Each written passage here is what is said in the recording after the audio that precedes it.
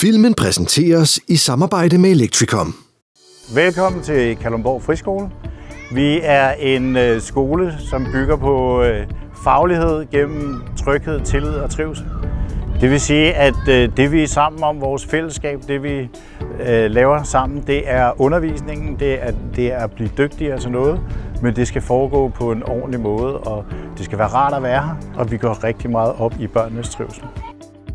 Kalundborg Friskole er en rigtig god skole, fordi øh, vi er rigtig mange elever, som har et rigtig godt fællesskab.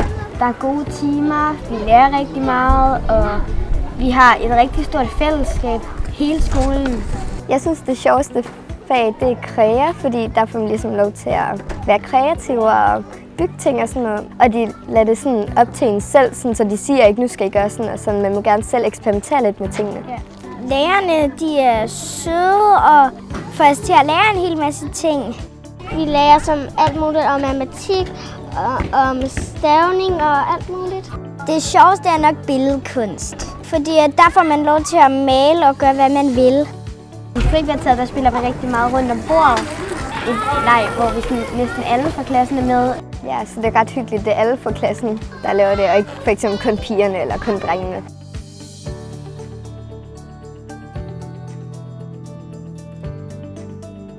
Chivien, der kan man lave mange ting. Spille bordfodbold og spille spiller. Lave ting. Hvis det lyder som noget for dig, så kontakt os. Vi vil rigtig gerne vise jer skolen. Vi håber at se dig og dit barn herude på Kalundborg Friskole.